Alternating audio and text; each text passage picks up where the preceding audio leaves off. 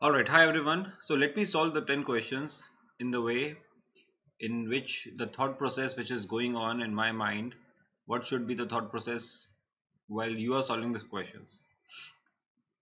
Let me see the first, uh, it was an audio question in uh, which it was um, said that the patient is having uh, myopia, high myopia minus 7 diopters and then the doctor saw something so you should know in high myopia the eyeball is long so the eyeball the optic disc size is also large. So this could have been ruled out. Now there is peripapillary. Papilla means optic disc. So around the optic disc there is, there is atrophy because of thinning of the retina and choroid. The sclera become prominent. And the thinning of the retina are known as lattice degeneration. This is a fact. Now when the optic disc is large the blind spot is enlarged but this enlargement of blind spot is not seen on fundoscopy. That is the answer. It is seen on visual field. The question was that in fundoscopy, the doctor will see all of the following except. The blind spot is not seen on fundoscopy, it is seen on visual field. So that was a common sense question that can be asked in the exam like that. Now second was a image uh, question. Now this is the angiography which is showing uh, the vessels and there is an appearance of hyperfluorescence in the central retina. This is like a flower petal appearance and the patient was uh, the question was which complication of cataract surgery has the least has the most chances of this? Now this you should know cystoid macular edema is due to inner blood retinal barrier break can be due to inflammation after cataract surgery. And the chances of inflammation are more when there is posterior capsule rupture the maximum. So that can disturb the vitreous and the vitreous is disturbed which can lead to inflammation inside the eye which can lead to inner blood retinal barrier break the fluid and exudates go into the outer plexiform layer and they have a radial configuration because of Henle's layer of the retina that is outer plexiform giving hyperfluorescence in the late stages of angiography that is cystoid macular edema flower petal appearance. The thickness of the central retina is also increasing so C is answer over here. Now which is not done in post cataract surgery endophthalmitis. The treatment of choice is antibiotics yes because it is an infectious condition and the vitreous has to be involved. So topical plus intravitreal antibiotic is given. Topical works only up to the lens, so intravitreal antibiotic is a better answer. And if it is not able to control, then vitrectomy is done. But systemic antibiotic has no role in endophthalmitis. Systemic antibiotic has role in panophthalmitis when the cornea sclera is also involved. So this could have been solved as well.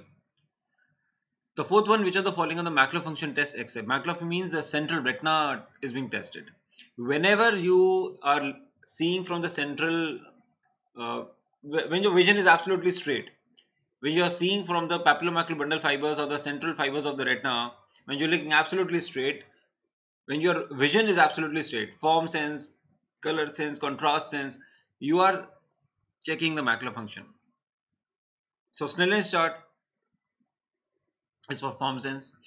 The Amsler grid shows you 400 squares and it is a subjective test whenever there is a metamorphopsia we have to suspect a macular pathology so that is a macular function test. Photostress test uh, differentiate the macular test from optic nerve disorders.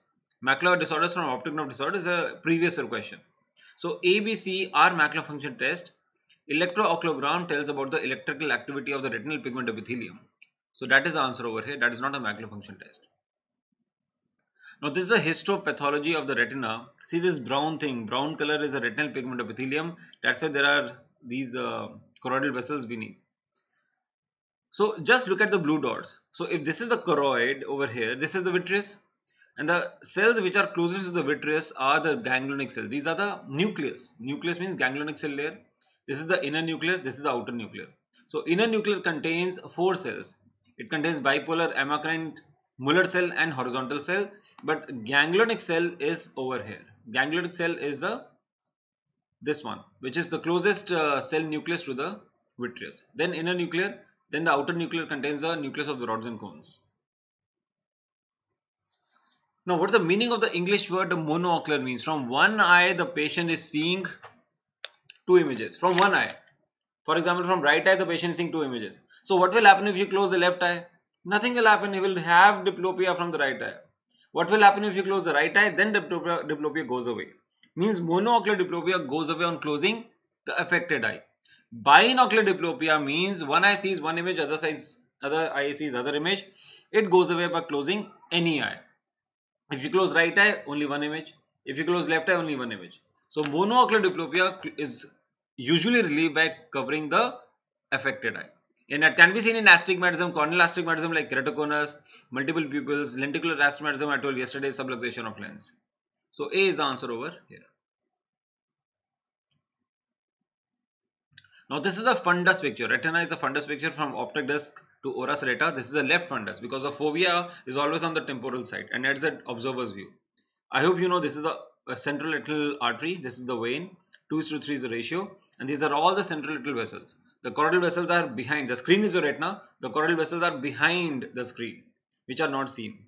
And this is mostly dark because of not photoreceptors because of melanin at the retinal pigment epithelium layer and this is the left fundus and this uh, on funduscopy the doctor will see this as real inverted image because of the uh, condensing lenses used by indirect ophthalmoscopy doctor but central retina is dark because of retinal pigment epithelium not the photoreceptors okay. One day after a complicated one day after complicated cataract surgery patient has decreased vision. visual acuity was 624 there was inflammation. there was i also gave now i gave i know what's the question. So there was fibrinous exudates b scan shows some vitreous exudates and there was no retinal detachment toxic anterior segment syndrome means that the posterior segment is normal. Panophthalmitis means the cornea sclera should be involved that was not no um, scenario was given when cornea sclera was involved and phacotoxic glaucoma even the iop was not mentioned so how can it be glaucoma only thing is acute endophthalmitis, intravitreal antibiotic should be the answer of this question. Now this is not angiography, this is autofluorescence because you see the vessels of the retina doesn't have the dye, the optic disc does not have, have the dye. This is autofluorescence which is useful in Stargardt's condition, Best condition because they have lipofuscin deposit. Stargardt's scattered all over the retina and Best in the center. This fluorescent dye injected gives information about the vasculature retina choroid, hyperfluorescence and diabetic retinopathy that is in angiography this is not angiography this is autofluorescence because the optic disc and the retina vessels do not have, do not have any dye okay that's the answer and this it gives information in Stargardt's so you people were right it was hanging a little bit. So now mine is also hanging a little bit. Very good. But now I am to the 10th question.